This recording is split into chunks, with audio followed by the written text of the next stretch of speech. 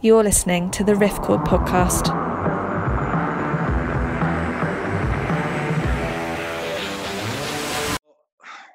The first thing that pops into my mind is that we've learned how easy it is for people to fall into directive, to fall into line.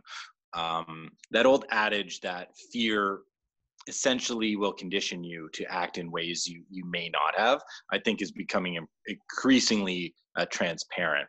And I don't think that the fear is unfounded. I think the fear is, is real in terms of, of public health and the way that this virus uh, spreads. But what I'm concerned about, uh, and, and, and I'm not a, a, health professional, so for me to sort of dabble in that world um, I, I don't think is the most responsible. But what I do know, what I have studied, and what I have a little bit of knowledge is, is is history. And you can see the machinations of sort of authoritarian control. Not saying that we've slid into that, but I think what's what this crisis has revealed is how easy it is for stable, democratic, representative uh, democracies to slide into authoritarianism based on uh, fear. And when people are scared, they will hand away um, their liberties, they will hand away uh, anything, so it seems, in order to.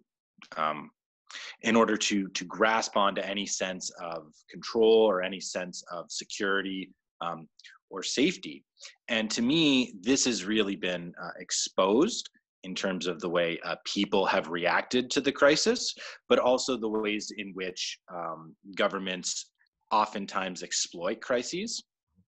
And you're starting to see, I think, a lot of people, whether it's right or it's wrong, and I'm not sure, you know, we're we're going to know until much later on in terms of when we get the numbers, um, in terms of deaths and in terms of cases and in terms of people that have been uh, healed. But I think people are now a little bit starting to to realize that the virus is not the only thing that we have to be worried about uh, right now. I think people are rightly worried about, especially in, in places where we've had massive shutdowns, uh, the economic ruin that's um, that's maybe in the cards.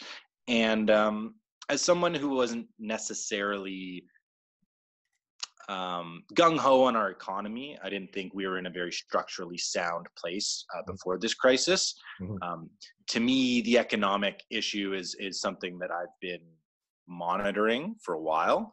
Mm-hmm. Um, so that's not a big surprise. But the big surprise to me is the the, the quickness and the swiftness of of potential government overreach in an emergency situation and the ease with which the populations uh, of these democratic and representative um, countries uh, have have seemingly gone along with it and that's the one the RiffCord podcast